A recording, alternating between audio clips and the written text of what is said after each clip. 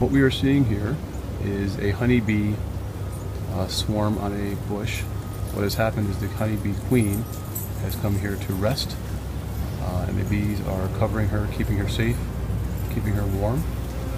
Um, and the bees are, as you're seeing, making kind of like a uh, almost a hive or cocoon around her to keep her safe until she decides to leave, and then they will go find another place to build a nest.